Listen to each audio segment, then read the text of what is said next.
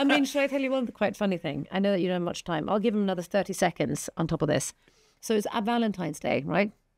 I don't even know if you can show this or whatever. And my daughter is in a shop with my husband. I was told this today. Yeah, sure. Do that face until you hear the story.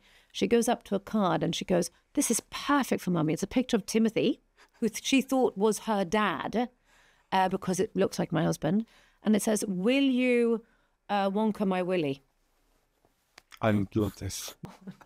But she doesn't get it. She's like, Oh, it's Willy Wonka. Willy Wonka my Willy, dad? She's like, No. I love this. Anyway, now your interview starts.